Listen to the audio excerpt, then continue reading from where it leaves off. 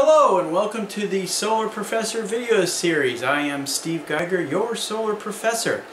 And today we're going to talk about something super important for those folks interested in taking the NABCEP exam. This video is part of my NABCEP uh, series and it is what you need to know specifically uh, if you're interested in taking any of the um, photovoltaic related NABCEP exams. Today we're going to be talking about the first topic um, of the four topics that you must know for this particular exam.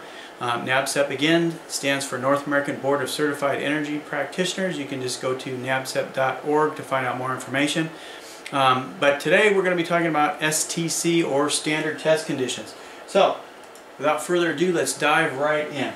Um, what I want to do as far as learning objectives here with this particular video are three things. Basically, you know, provide a basic understanding of what STC means, what it's used for, and then of course how it compares to uh, some other test conditions. And then I actually have a, uh, quick sample problem uh, that you may see on the NABCEP exam. So let's get started here. Uh, first of all, what is standard test conditions? Blam, it's right there for you. That was kind of loud. Um, I have it in red. Also, you know, as with all of my other videos, I do have this presentation posted um, under the instructional area on uh, my website, which is solarprofessor.info. It's not .com, it's actually solarprofessor.info. Um, standard test conditions is a 1,000 watts per meter squared with an air mass of 1.5 at 25 degrees centigrade. Okay, um, this is what it breaks down to. Let's let's break the let's break it into pieces to um, to get a better understanding of it. First of all, is a thousand watts per meter squared. That is basically the irradiance. That is the power of the sun. That's the sun's rays coming down, and it's power per unit area of that sunlight. Um, I actually have a reference meter here. This particular one is uh, manufactured by Daystar. It's very commonly used in the industry and it takes a 9 volt battery. It actually has a reference solar cell right on, on the um, front of it if you can if you can see that on the top of it right there.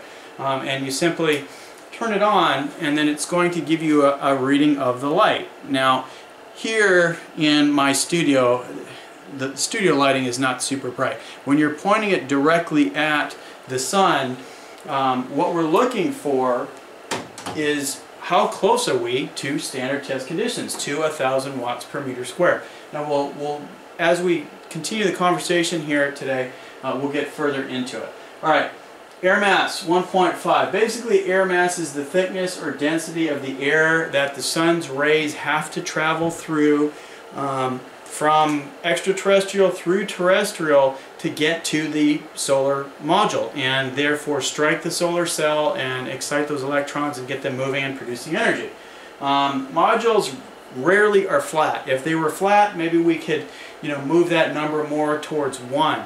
But atmosphere is going to be a little bit thicker because we're taking a measurement at basically 35 uh, degrees north latitude. That means the solar panels are at an angle of about 35 degrees. That's a good average for what an angle of a solar panel might be on a roof or in a ground mount system or uh, other things like that. And I know, trust me, I know it varies for those of you out here, uh, out there who have been in solar for a while. Um, you know, ground mounts are usually at 20 degrees and, and, such, but this is the number that's being used for air mass to be at uh, 1.5. And then, of course, the last thing here is 25 degrees um, centigrade, which is also 77 degrees uh, Fahrenheit. And that gives you kind of an idea of, of, of what you're feeling out there. Most of um, the temperatures are measured in the United States at uh, Fahrenheit. And we know what 77 feels like. Uh, it's kind of a mild day, really. That is the actual cell temperature. So when the sunlight is striking that cell, the cell itself, and you can measure that with um, there's various uh, um, temperature meters, there's infrared temperature meters you can use uh, to measure the cell temperature. Um, bottom line is STC is used to compare the performance uh, characteristics from uh, one module to the next, one manufacturer to the next. Um, and that gives us a standard used industry-wide as the comparison, and that's basically what it's for. All right, a couple more things I do want to mention, so let's move on through. You know, there's various test conditions uh, in the industry. These are identified in the book, and you know I, I, love the book, especially for those who are taking the NABCEP exam. Uh, Photovoltaic Systems uh, by James Dunlop. I have the third edition here. It is the solar manual for folks taking the NABCEP exam. It's a fantastic read. You really should read the whole thing um, cover to cover, all 15 chapters if you're going to be uh, taking that NABCEP exam. But again, I'm giving you these videos to just give you a quick abridged version of some of the um, material in there.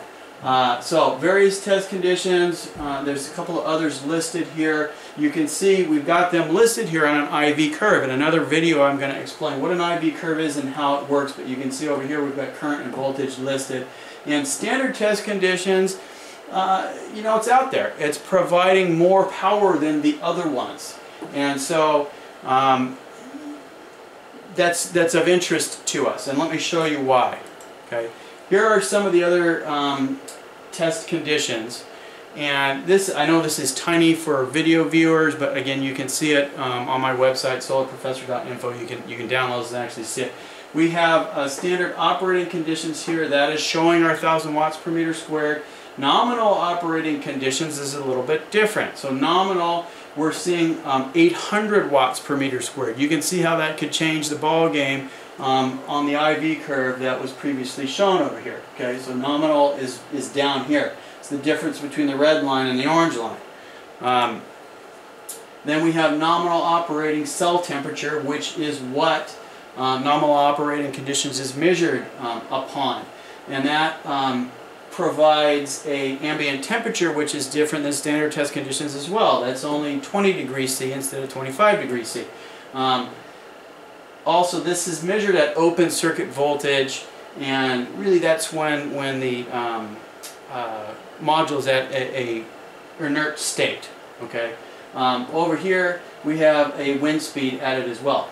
Uh, here's PVUSA test conditions, or we call it um, PTC. Some, some of us in the industry refer to it as practical test conditions. Um, that is also 1,000 watts per meter squared, but that's 45 degrees um, centigrade, so that's uh, a little hotter. Be honest with you, that makes more sense. It depends on where you are in the United States, of course, but that's a more extreme situation for us than 25 degrees C. And trust me, um, solar panels up on the roof, um, especially in uh, the California area, northern or even southern California, solar panels can, can get well over 100 degrees, their cell temperatures um, on the roof. I've measured them at, at 140 degrees before up on the roof. So, um, interesting situation. But for the, the NABCEP exam, we want to know what standard test conditions is. We want to memorize it.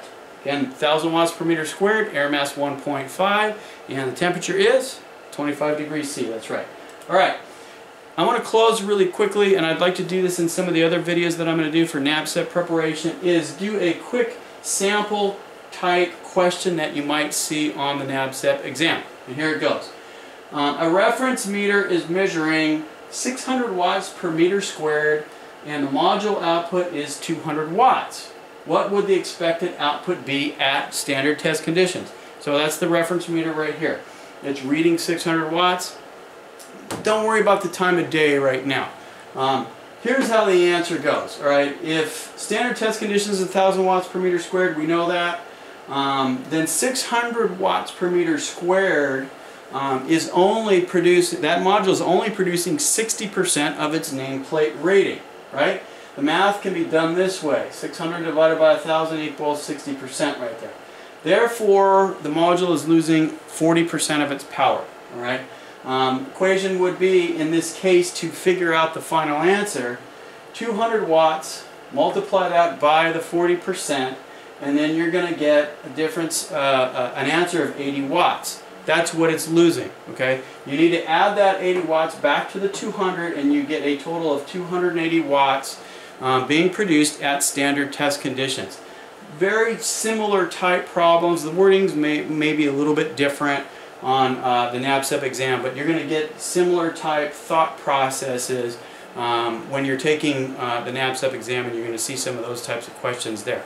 All right, Um, that really kind of narrows it down um, for standard test conditions. I've hopefully I've simplified it uh, for for you guys for a, a better understanding.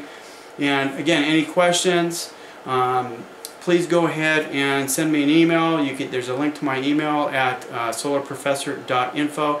And of course, if you can uh, like this video, I'd really appreciate that. And uh, we'll see you on the next video. Thank you so much.